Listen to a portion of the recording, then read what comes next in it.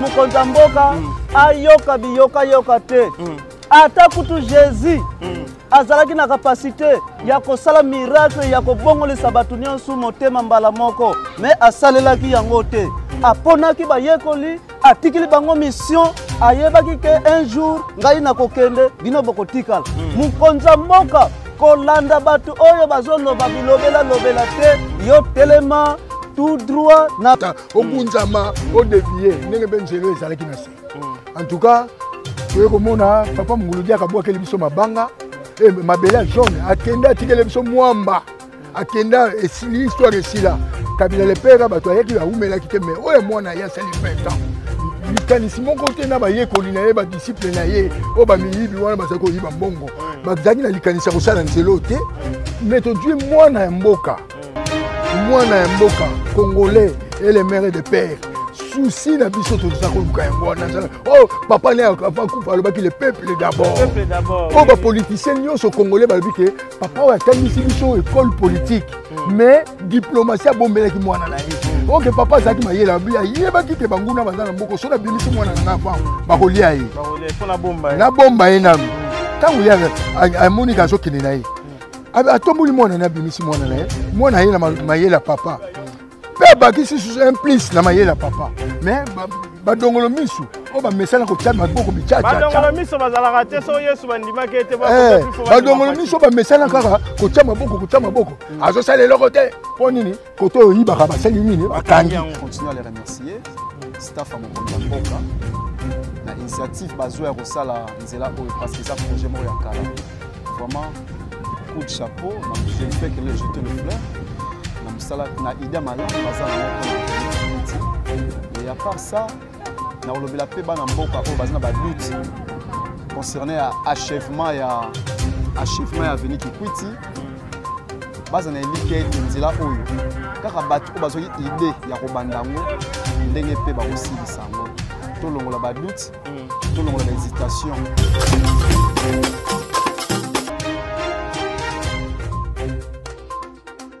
mbote na bayimboka nyonso bozolanda biso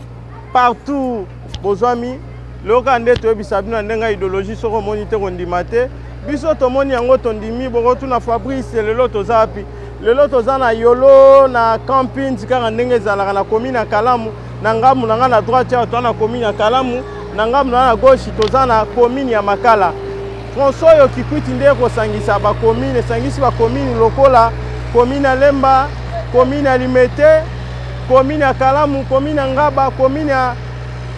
Nkala, esangisi biso ba commune wana nyonso tout. Route eza kaka moko, c'est route Kikwit. Oyo ebandi biso na foire, na changer na foire, eye kobimela ekobimela biso ti na elengesa kaka na ndenge ya ideologie nde tolobaka soko moi te kondima te biso tomoni yango tozopesa lokumu mpe longonia na mokonzi ya mboka tozojete bafleur na makambo oyo azosala ya malamu na mboka oyo etikali osalama te ruti kikwiti oyo depuis temps ya baflamand nde basalaka mwa système ya ideologie ya kotya mwa barobe mais etikalaka système mabonga nde boyebaka na ndenge ya ideologie mais lelo grâce a faci bento mukwa ntombolo misala ezosalama avec impact na ideologie dada ya ndenge aliseki te oyo aboyi asala ye mokili kaka nde tolobaka biso toza na mpona kolakisa visibilité ya président de la république faci beton soki mosala ezosalama nani akoboya toza na mpona kondima mpona kolakisa mosala ya malamu ezolakisama soki mpe makambo ya mabe ezosalama toza na mpona koloba mpona kolakisa bino place nini misala esalama te place nini misala ekende te na ndenge ya idéologie nde tobi toza wana chartier toza wana plein boulot ndenge bomoi misala ezosalama kaka na ndenge ya idéologie yango toyaki lelo tolakisa bino émission bolanda misala ndenge ezosalama Avant nyonso wana mbote kaka ndenge ezalaka mbote na Usama, babi Usama tomoni ba micro yango oyo eh ba voisin ba mela pemba na ndenge ya idéologie ba ba tuna e eh, bazangi micro te te totiki bino na batige biso toyei système ya cravate eh to na ndenge ya cravate na ndenge ya idéologie modernité liseki te Usama babi kalami te bozwa surprise eh vanda na yo na ngambo na yo biso tovanda na ngambo na biso na ndenge ya idéologie soki oboyisana ya yo mokili biso ya nde toyekola na bulo tolakisa nde bulo bolandaka biso kaka nde bolandaka bozeli tokebwe bolandi biso toza na mpona kolakisa bino banzela bamoyizi te ya nde biso na ndenge ya idéologie mbote na ngai na osama mbote na mama yuyu mbote na judith masial na neta lowa mbote na ngai na bayi mboka nyonso bolandaka biso tolanda nano misala ndenge ozosalama avec papa moba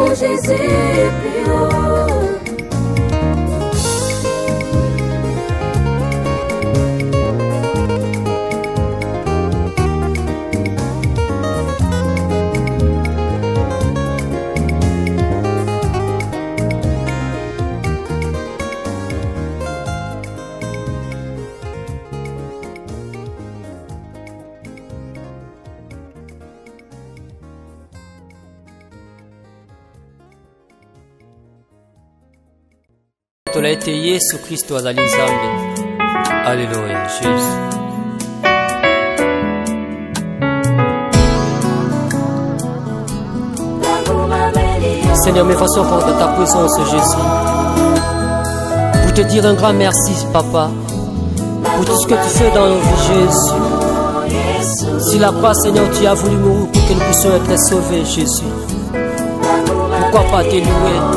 Pourquoi pas t'adorer Alléluia Jésus.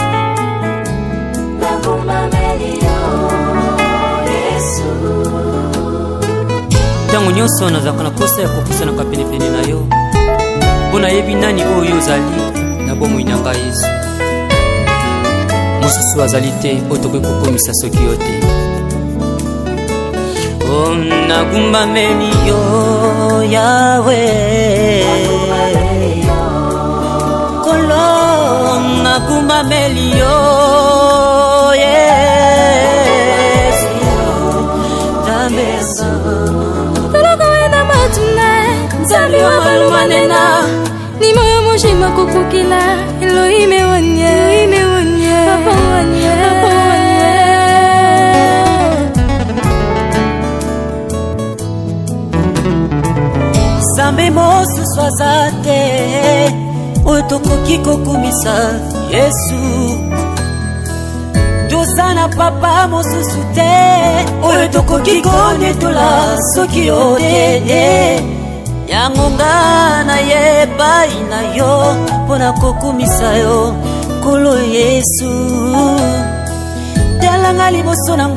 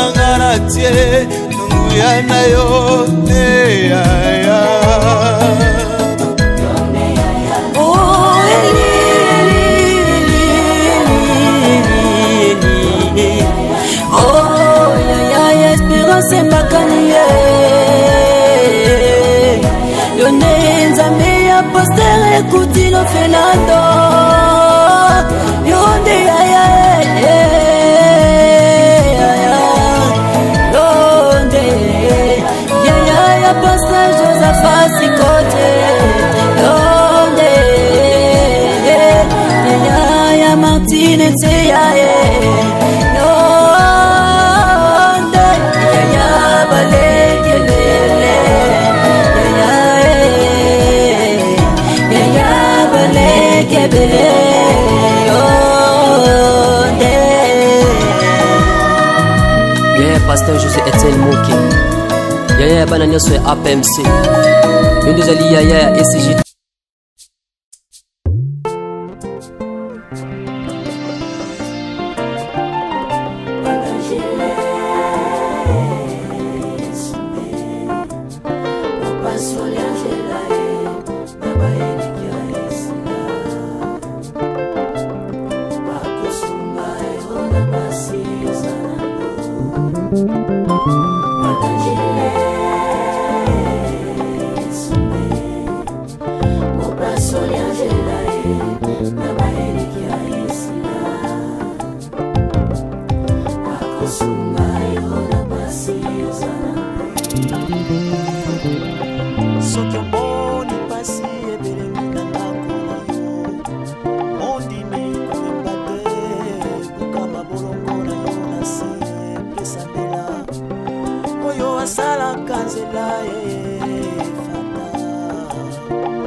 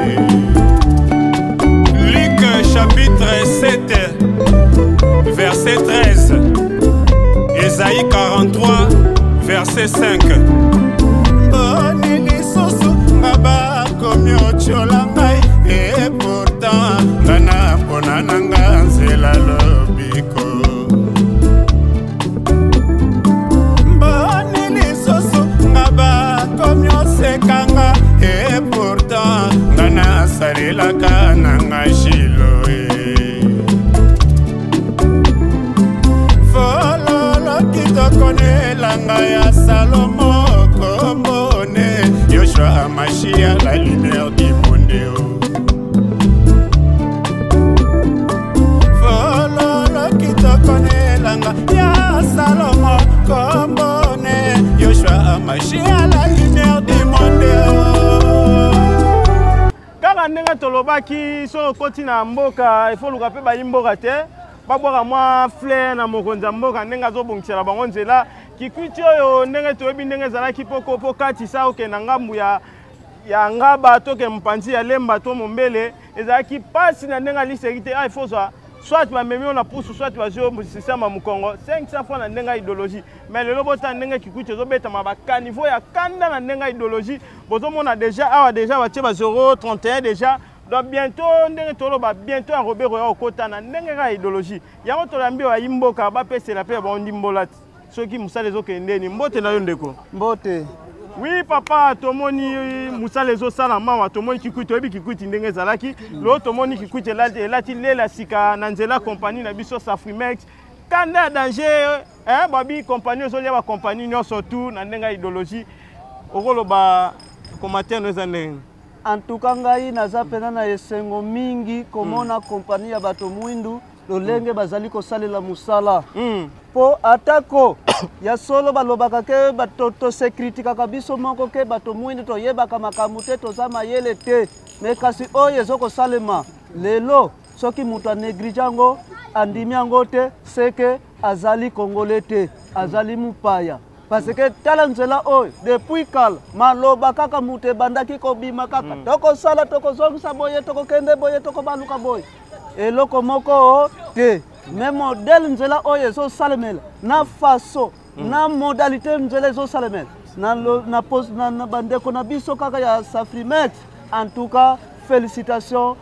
bonne commencement et bonne continuité. Bonne continuité. Ni ce que vous avez mokonza mboka oyo afungoli motema po lelo nzela kikwiti ebetama dada avec le pacte idéologie. Mpo na ngai na mokonza mboka mm. ayoka biyoka yoka te. Mm. ata kutu jésus mm. azalaki na kapasité mm. ya kosala miracle ya kobongolisa bato nyonso motema mbala moko me asalelaki yango te mm. aponaki bayekoli atikili bango mission ayebaki ke un jour ngai nakokende bino bokotikala mm. mokonzi ya mboka kolanda bato oyo bazoloba bilobela lobela te mm. yo telema tout droit na vision na yo okende liboso osala misala mosusu oyo peuple congolais ata etikali deux jours ya fe ya manda mm. bakotatola mpo na yo ok bien dit merci beaucoup ndeko na nga na interview ndimi kopesa biso matondo mingi ndenge tolobaki babi tozo continuer toujours na bainterview na biso kaka na ndenge ya idéologie soki oboyi faci sala yo mokili kati ya braza melata javel mais biso toza toujours santa na faci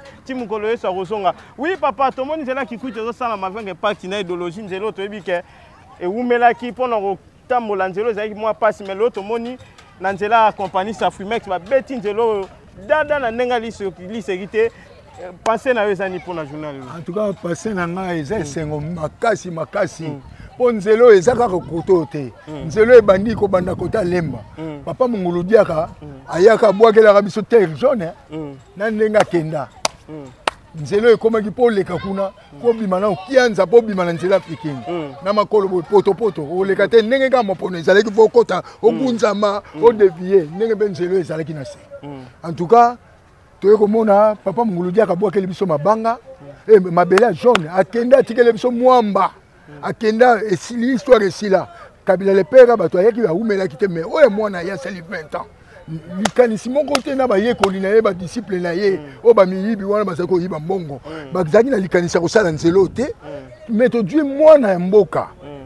mwana ya mboka congolais et le maire de père souci na biso toza koluka yango wana azala oyo oh, papa ne akufa alobaki le peuple d'abord oyo oh, bapoliticien nyonso congolais balobi ke papa oyo atangisi biso école politique mm. mais diplomatie abombelaki mwana na ye mm. oke oh, papa azalaki mayele ayebaki ke banguna baza na mboko soki abimisi mwana na ngai avant mm. bakolia ye nabomba ye nanu ntango ye amoniki azokende na ye atomboli mwana na abimisi mwana na ye mm. mwana ye na mayele ya papa mpe mm. abakisi susu un plus na mayele ya papa mais badongolo misu oyo bamesana kotya maboko bicacaabadongolo miso bazalaka te so yesu bandimaki ete eh, badongolo miso oyo bamesana kaka kotya maboko kotya maboko mm. azosala eloko te mpo nini kote oyo oyibaka basali nini bakangi kote oyo bakangi mm. ale bobandi kokosa biso population mm. azokoka eloko te akosala nini akonduire bino na berel nzoka nde mpo na nini madusu mm. bwe sikoyo susi na ye biso tomonaki susi na alobaki lepeuple oyo alandi ya papa na ye lepeuple d'abord yango tozomona yango eza misala en tout cas na banzela azosala eza esengo 5 sur 5 en tout cas président alemba te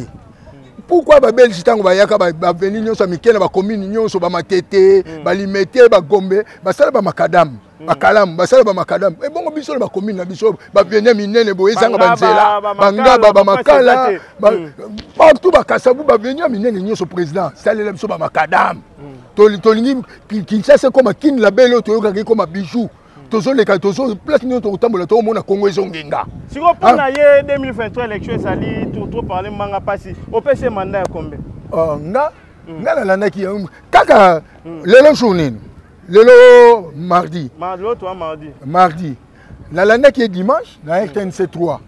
ngai moko en personne nalandi président alobi en tout cas peuple bolanda biyokayoka te nayebi bazokombattre ngai nazobunda ngai moko contre motu nyonso hmm. mais sue na ngai ti tokóma 2023 peuple na ngai ase sentir akomi na hmm. akomi na soulagement akomi na niveau mosusu na esengo mosusu amona ke nakomi koya kopema mpe na mboka na ngai naza alaise nakomi olia kitoko kamwa misala mpe ekomi koya en tout cas nalandaki ye maloba alobaki en tout cas aza na susi ya mboka makasi aza na susi ya peuple mais kaka biso tokomona bidongo la misu mm. bakopesa mosala neti toyoki sikoyo oyo bakoloba soko bato mosusu bapesaki bango bambongo ya nzela ale tomoni makanisi etelemi bakimi makanisi etelemi makanisi ezosalama lisusu te ezosalama lisusu te toyoki bato yango bayibi su mbongo balinga balinga te makanisi wana mpe ekosalama banzela wana ekosalama biso topesi mokako shwa mm. ezala kaka banzela te ndenge tozoluka kolia kolia soko esi evandi nango misala ekoti tokopesa esanta tomoto mbele élection oza su te na mboka oyo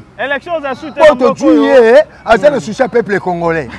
oyo nyonso basikali wana bavoler hmm. lokola bazwi baposte te mabenge ezotonda te akoleka na télévision bango wana bakoma oluka ye na bonkutu te hmm. toboyi kotanga bakombo mai bango wana na bonkutu lelo oyo hmm. mosusu aleki o oh, biso toza kocombattre président fati te toza kocombattre système système yango yango tomoni azokombattre biso mpe tokomi nsima na ye sikoyo ntango ye alobi ndenge wana kala bango bakomi kopotana bango na bango ndenge maloba na biso ekomi ochange mosusu alobi tolobi verité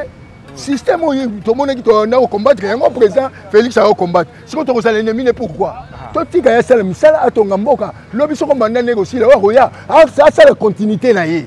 mboka ekende liboso noke moto aza na susi ya kotonga mboka to banda kotungisa ye kobundisa ye mpo na nini yo mpo chevimbi te merci papa mpo na euh, toki maloba na yo mot de la fin na yo eza nini mwa libanga na deux pection trois pection baolanda yo na ndenge ya idéologie ah, mot de la fin na nga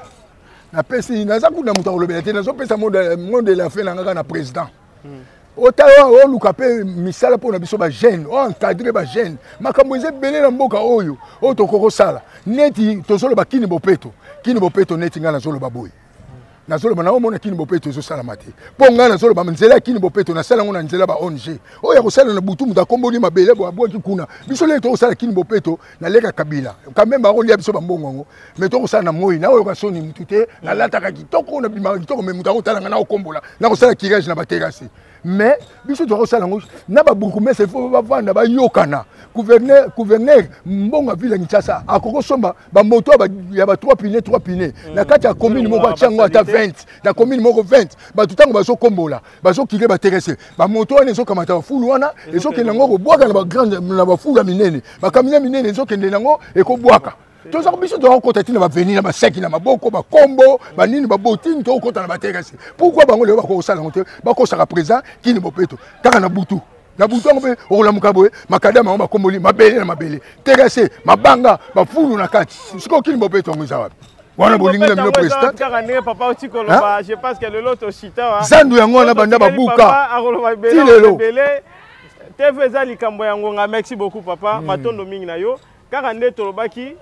bo continuer toujours ko s'abonner na chaîne na bino, bo partager ba vidéos, bo partager parce que tozana mpona kolakisa bino visibilité ya président de la république tolakisaka bino banzela nyonso tu tovoyageaki tolakisa bino tozo continue toujours kolakisa bino misala ndenge ezosalama asuivre tokutana na papa tokutana na ingénieur alifo oyo asimbi avenue kikwiti oyo limon 1 yango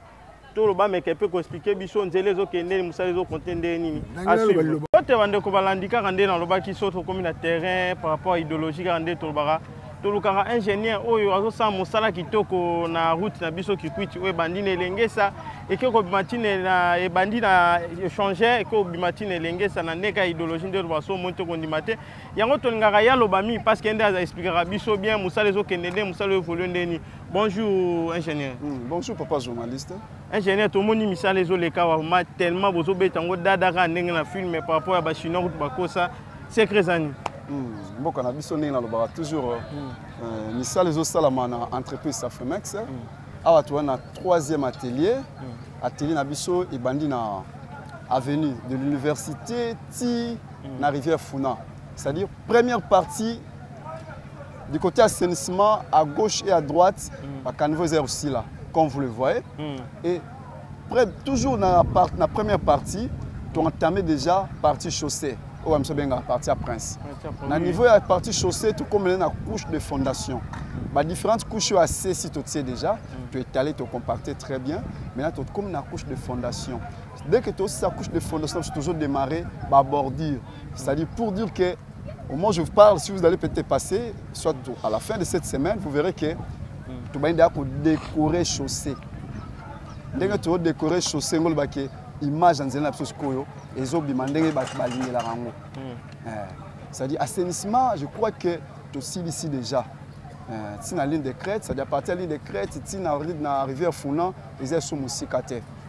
mais évolution ya mosala vraiment eza malamu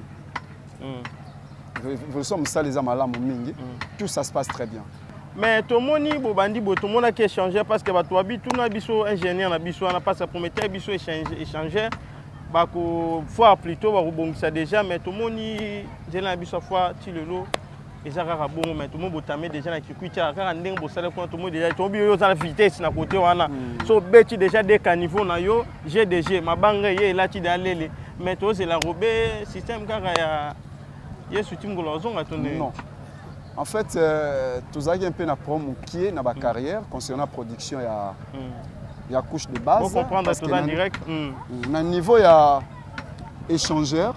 soit na niveau ya deuxième porte na biso fikine mm. tokomi na niveau ya couche de base c'est-à-dire mm. dès que totie couche de base na biso mm. directement tu imprégné totie enrobé kuna baexercice eza esu mingi te on avait un peu un petit problème na niveau ya carrière oyo afournisa biso matériaux au moment je vous parle eza maintenant en bon état c'est-à-dire laissez-moi vous dire que la semaine prochaine soit à la fin de cette semaine mm. passé omonaka image omoni lelo yango te omona peut-être euh, vendredi bien samedi babi so tobatali yo na afrique na foire obetaka on dada tomoni cope vide toye mpe lisusu na kikutia tomoni bientôt ti tokoma na rivière funa donc baye eh, bana poto bana monde atie donc ti tokoma funa donc ti tokoma ba octobre déjà je pense que match ekozala déjà retour esili siko pourquoi bato ya ngambo ya kobanda pont monguludiaka ti bakoma na prince elvis retard wana se poser pour elle en fait euh, ça je l'ai toujours dit mm. que l'avenue qui quitte eza subdivisé na trois ateliers mm. premier atelier ebandi na entre fiki deuxième porte na titre ya rappel deuxième porte ti na pont monguludiaka mm. wana premier atelier deuxième atelier ebandi na pont monguludiaka ti université mm. troisième atelier c'est là où nous sommes maintenant si vous me posez la question concernant la, le deuxième atelier mm. nayebisaki yo kuna problème eza kose pose mingi eza batio ya régie des eaux mais awa mpe ezali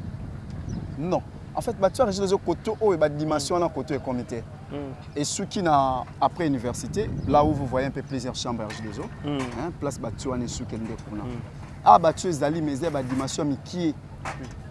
oyo eza koalimente juste baparcelle mais oyo eza kuna eza koalimente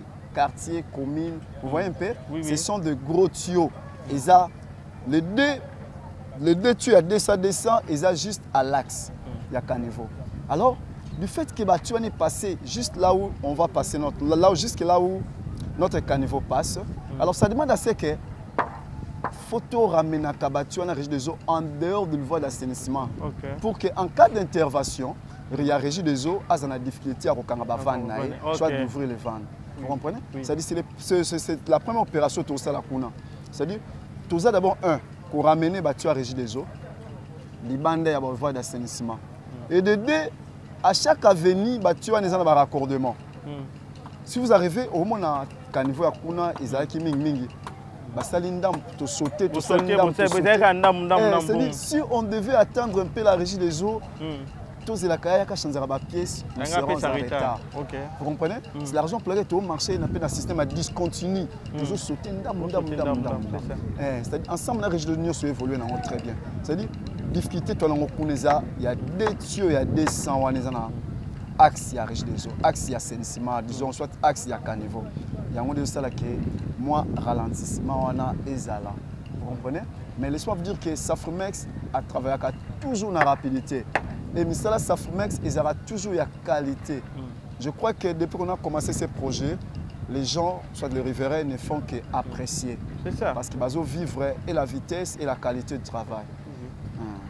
mama yuyu na papa usama papa usama aza na hollande mama yuyu napesi yo mbote babi totuna ingénieur babi mosala oyo ezozwa combien d'année bon en fait du point de vue durée mm. durée ya projet kikwiti de l'entrée future deuxième porte nelege ça durée nango ezalaki ya 12 mois mm. durée ezalaki ya 12 mois mais soki tozomona mwa parce bato baotomeme bokoleka durée bokoleka dele wana parce que parce que bato balela mpe bambula yango oyo ezoya hmm, mbula yango oyo ederangeaka bino toyebi bien parce que tobanda bino depuis euh, saison de la pluie tomonaki mbula ebanda obe tondo oderange bino soki ape ah, mbula ezoya sikoyo hmm. bosuka ndenge bon en fait mbula te akoempêche parce que hmm. eza nango eza climat na biso na rdc eza temps oyo tozalaka nango awa na rdc tokoechappe yango te vous comprenez ta mbula tokosalaka na ntango nayebi ke mbula eblokaka biso makasi hmm. eh, cestadire c'est à cause de ça aussi hmm. délai oyo ekozala vraiment difficilement hmm. respecté parce que intempérie na kinshasa mbula ederangeaka makasi à part ça badéplacement ya tie sur ya région des eaux comme je vous ai parlé ça nous prend du temps surtout so tokendaki tolakisa bayi mboka na ngambu ya so kati rivière ya funa na ngambu kuna eza na batio ebima meme na banzela boye namoni kuna nayebi te so bosala ndenge nini euh, tout ça eza babiloko epesa biso baretard mm. et à part ça toa mpe na problème ya expropriation mm. expropriation eza ya bato oyo batongi na nzela na kati ya nzela wi batoki balingi balela oyo te bolingo abi te baza na raison parce que boye kotonga bandako na nzela L'État na droit ya kobuka yango. Eh, c'est-à-dire mm. euh, bango wana mpe so bakocreye retard parce que pendant ki tozela badossier mm. esalama omoni ke kote oyo misala eza ekotelema oui tomoni touti ti na se tomoni déjà eh. bosuki na direction ya ko tobengaka kwilu voilà donc direction na biso ya kwilu bato bana mboka bayi mboka boyebi toa na campings camping donc basisi na ngambo abengaka ya office d'abord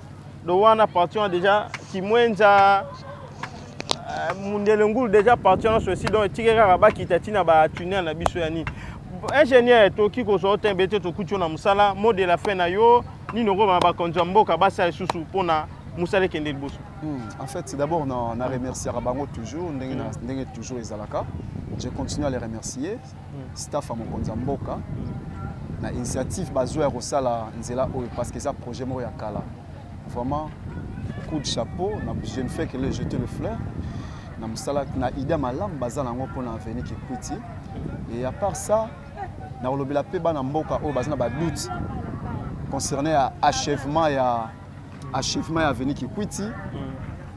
baza na elikya ete nzela oyo mm. kaka bato oyo bazwaki ide ya kobanda yango ndenge mpe bakosilisa yango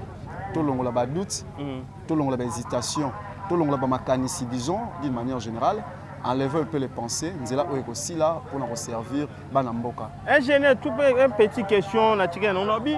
place des chambres oyo ya tomoni ya régie des asai kuna siko bokosala ndenge tongi bopesa biso na idée des chambres wana batikali idée eza nini wana bokobuka bokolongola tio bokolongola nini wana to ekoempeshe bino bosala eloko nini chaque hmm. ingénieur en fait merci concernant mm. bachambre ba ya régie des eaux na mibale oyo eza hmm. après université mm. yango nde eza niveau ya nzela na biso hmm. c'est-à-dire euh, si je parle niveau ya nzela c'est-à-dire niveau ya enrobe soit ya hmm. goudron yango wana hmm. c'est-à-dire chambre yango oyo niveau mpe ya nzela yango biso tokoya kobalana na bachambre ça ne va pas créer dans mituka ebanda oleka nango likolo nango ebuka te est ce que babeton batiaka na vraiment na forme ya bien de façon que parce que yo oyebisa biso bike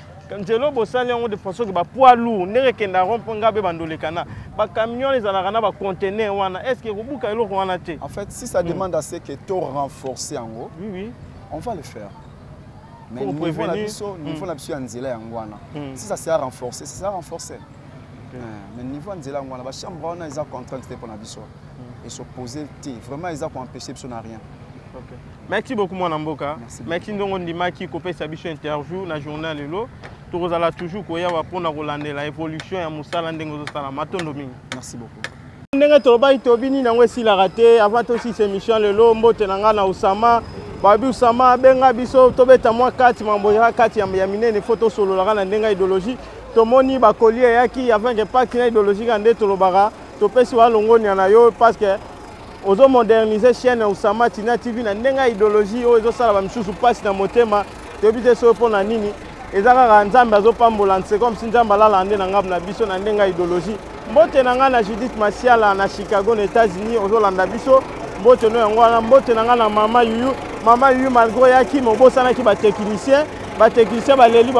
bandi balie mwa keka na motema kaka ndenge ezalaka mbote na ngai na bayi mboka nyonso tu bolandaka biso nabosanaki babone na biso nyonso ya allemagne tout la bonne allemagne bocontacte numero ya tina bombo toza na besoin na bino à propos ya masolo moko eza na allemagne wana kaka ndenge ya idéologie bocontacte biso S'il vous plaît, tous les abonnés na biso boza na Allemagne, bo contacter numéro ya Tina Bongo, toza voilà besoin na bino. À propos ya makambo soki tosolola na bino, s'il te plaît, s'il te plaît. Kaka nde nalobaki lelo toyaki wapi toyaki na avenue Kikwiti oyo ezolata lelo lela sika kaka nde tomoni bampono elata ye balela sika batriomphale elata ye balela sika lelo toza lelo na kikwiti mpo na kolakisa bino misala ya president de la république ya faci beton ande tobengaka muku ya tombolo ndenge azosala misala na ye sisaki ndimo azotika bilembo na ye malgre balongolo miso kaka ndenge bazalaka na ndenge ya idéologie mais ye azolemba te azosala toujours mosala bolandi bacommentaire ya bayimboka ndenge balobi bolandi ingénieur aliko ndenge apeseli ndimbolanelaka na ndenge ya idéologie nde toyaka par rapport idéologie soko omoni te kondima te biso tomoni yango toye kolakisa bino na bilili ya tonto moba mpo na ngai bosabone toujours massivement bopartage bavideo na biso bolanda biso toujours na chaîne na bino bolingaka mingi kaka ndenge na bo continue toujours kopartage mpe kosabone na chaîne na bino tolingi koyebisa bino soki oza na agence na yo oza na boutique na yo oza na magasin na yo oza na eloko moko oza na besoin tosala elo publicité toyebanda oleka na chaîne na biso contacte na numero na biso eza wana na etando ike na bino Bo contacter biso tokosalela bino ba publicité et publicité na bino ekobanda oleka na chaque émission. Yo pe musicien oza na loyembo na oza na besoin tolekisa yango na chaîne ebetaka na ndenge ya idéologie. Contacter biso na numéro wana nyonso ekoleka avec impact ya idéologie. mbote na ngai na bayimboka nyonso tu bolandaka biso bana allemagne surtout na betise te bobenga biso bobenga biso toza wana besoin na bino ekozala malamu so tozobenganaka tosutenaka mosika na mosika eza bien mbote na ngai na tonto moba mbote na ngai na meta urine mbote na ngai na jinia mbote na ngai na tina lelo ezalaki ke bango bazalizaki mwa feye mpo na bango balia mpe mwa liboke na kikolo nde ezalaka mwa ngulu na kapela lelo yango tolobi biso mwa bakombata tokita tene tolakisa bilili kaka na ndenge ya ideologie ndenge ezalaka par rapport kaka ndenge alobaka soki yesu azongi soki yesu azongi te tokokutana kaka toujours par rapport ya ideologie bye bye